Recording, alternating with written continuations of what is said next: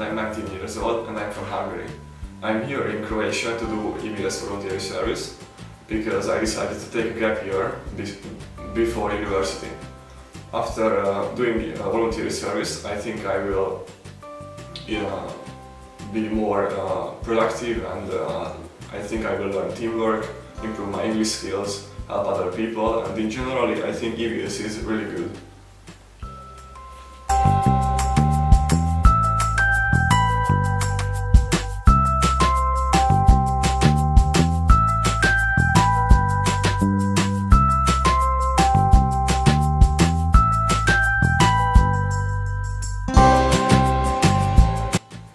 Hey guys, I'm Justin. I have 21 years old. I come to France, the east of France near Switzerland, and I'm here for discover a new country, how communication is practiced around the world, and um, for meet new people and discover another culture.